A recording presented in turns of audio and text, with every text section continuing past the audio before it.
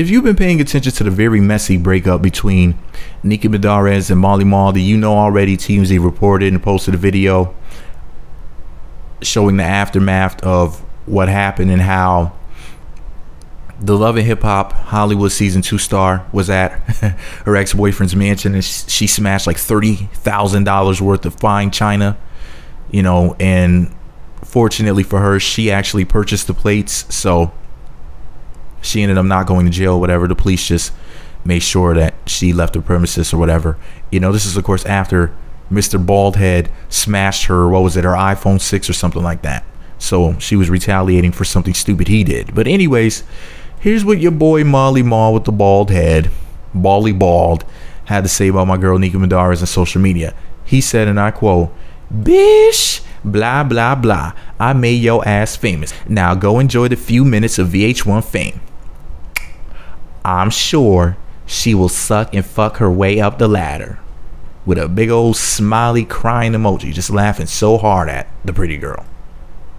Then he went on to say, If you don't stop being such a fake bitch, I will expose your dirty pee to the world. And finally, he said, LOL, the bitch, LOL. The girlfriend days are over. I'm rolling a few deep 24 7. Damn, I can't stay out your mind. LOL. Can regret something when you already predicted the outcome. Hashtag GN, hashtag twerkers, LOL. End quote. Now, the reason why I had to read his silly little messages like that is because I thought dude was suspect since season one of Love Hip Hop Hollywood. Now, you know, I wasn't very familiar with who he was and whatnot because, I mean, I don't really give a shit about Mally Mal. You know, I heard some of his music sounded whack, so I didn't really pay him too much attention. You know what I mean? It was one of those types of things where he was there, but I just didn't really care. So, yeah.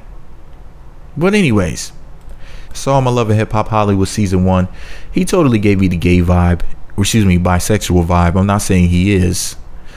I'm just saying that that's the type of vibe that he gave me, and I was just like, wow, what the fuck is up with this guy? You know, I didn't really care for him, not just because he was fruity, or at least seemingly fruity, excuse me, but because he just rubbed me the wrong way. He just is kind of grimy and creepy. You know what I'm saying? Like he just wasn't somebody that I was checking for. I wasn't watching the show for him. I was just like, uh, uh, you know, like the show can do without him. He wasn't really an important part of the show. Didn't like his attitude, and then the fact that I could just smell semen coming from his breath oozing out of my television, just going all in my nostrils. I was like, uh, yeah, you know.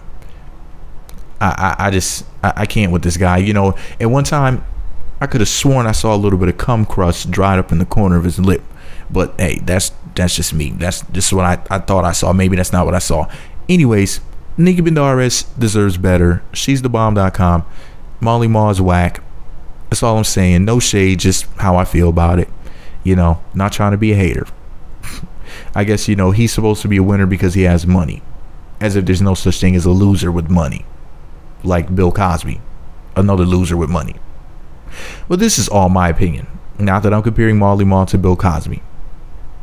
Anyways, let me know what you think about it all below. Be sure to subscribe to the MEET Magazine YouTube channels. Visit meetmagazine.blogspot.com for more. And for the record, you see how this clown try to brag that he has multiple women now? Like, dude, so fucking what? You have money, of course you can buy, excuse me, have afford to have multiple women around. You're buying women's attention whether you want to realize it or not. None of these women give a fuck about you, Mally Mal. You bald headed and whack. You just a bald headed bitch. But this is all my opinion. MEET Magazine.